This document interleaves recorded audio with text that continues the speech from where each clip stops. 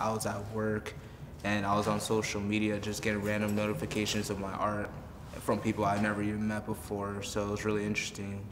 And when I came here, I just saw a whole bunch of people and I was like, whoa. What did that mean to you? Like everybody showing you support, like. Um, it kind of reminds me that I'm not doing anything bad at the end of the day. you know, I'm leaving a monument for the world, and that monument can be passed on from time to time. So that's initially my goal for this world. That's amazing. What are the steps you've taken to work on that? Like, you